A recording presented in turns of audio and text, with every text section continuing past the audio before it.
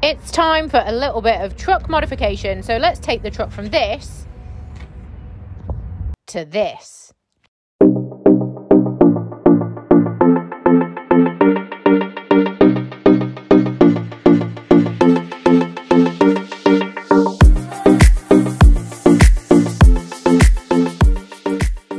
The first stage of the process was taking all the grills out. Now, luckily for me, Scania have put lovely little clips on everything, and most of them came out fairly easily.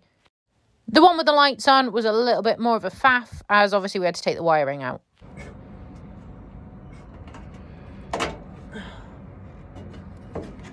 This is when I like smash myself in the face with it, Yeah, everybody laughs. I know I'd be pissing myself laughing. You get it. Oh, she's struggling. She is struggling, yeah. People have TikTok and I'm just standing here pissing myself laughing.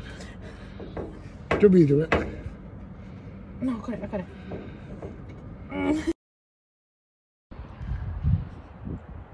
the fuck are you doing? Once I'd taken them out, I banged some tape around them so I know which one went where.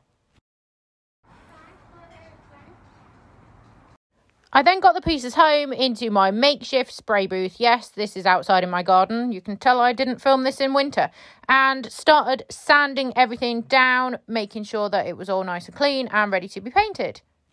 The sanding process wasn't too difficult, and then I started on the primer. I went for a white primer because that's what the paint shop guys suggested when I told them what colour I wanted to paint the grills.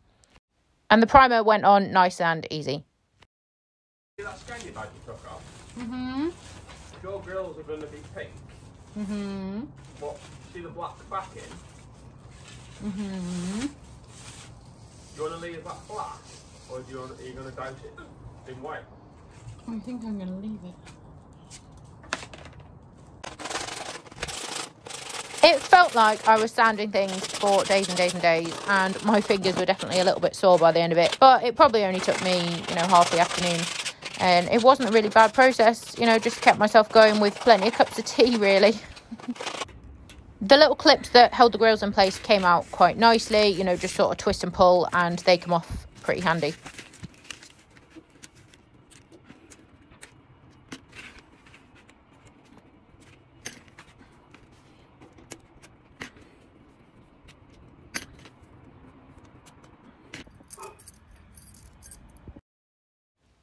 The painting was definitely the bit of the day that I was most looking forward to, and it didn't disappoint.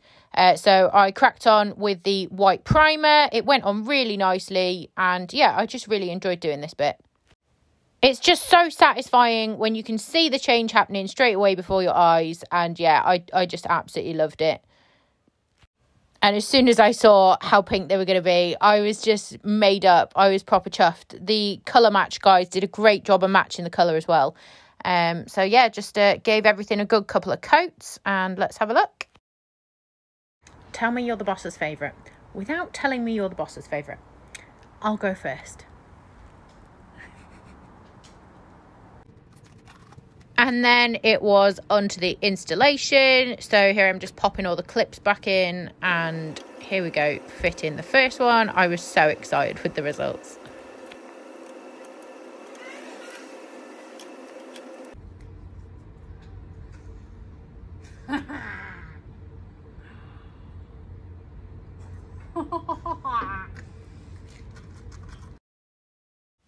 And then obviously it was time to put all the rest of them back in. But I got a little bit hungry, so Chinese food break. Whoops, diet's going well. Putting the rest of the grills back in wasn't too taxing. Uh, the one that was hard work was the one that had the lights in it, because obviously I had to rewire them back in, um, which I just didn't manage to get on film because it started going dark, which was really, really handy. So let's see the results.